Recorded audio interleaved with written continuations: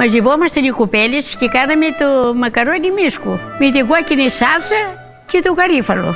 Όχι κανένα όπως έκανε η μάνα μου. Και ήρθε η μένα το παιδί μου και μου λέει Γαρίφαλο.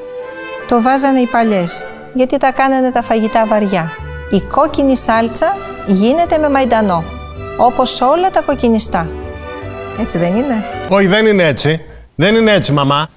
Τι είναι η κόκκινη σάλτσα να βάλεις μέσα μαϊντανό; Φασολάδα; Σε τελική ανάλυση, είναι οι άνθρωποι με βασιλικό τα τρώνε τα ζυμαρικά. Ναυσικά, πες τον κύριο παιδί μου πώς αρέσουν τα μακαρόνια.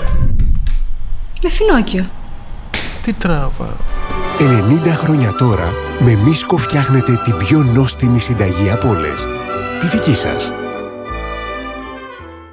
Φάμε όλοι μακαρόνι απόψε.